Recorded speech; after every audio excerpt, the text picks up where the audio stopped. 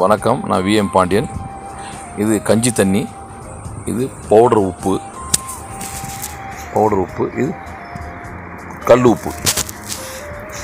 கல் உப்பு. ஓகேங்களா?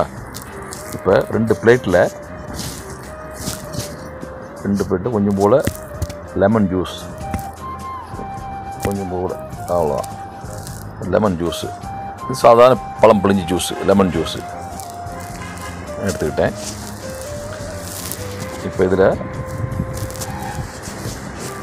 ரெண்டு ரெண்டு பிளேட்டில் பராபர் எடுத்தாச்சு ஈக்குவல் எடுத்தாச்சு. இப்போ இதில் நான் கஞ்சி வடித்த தண்ணியை ஒரு ஸ்பூன் எடுத்து ஊற்றுறேன் இது சாதாரண சாப்பாடு வடித்த கஞ்சி தண்ணி. இதுலேயும் ஊற்றினேன் இதுலேயும் பராபராக மிக்ஸ் பண்ணுறேன் இந்த கஞ்சி தண்ணியை. ஓகே. இப்போ இதில் நான் இந்த பவுட்ரு உப்பை போடுறேன் ஒரு ஸ்பூன் பவுட்ரு உப்பை போடுறேன்.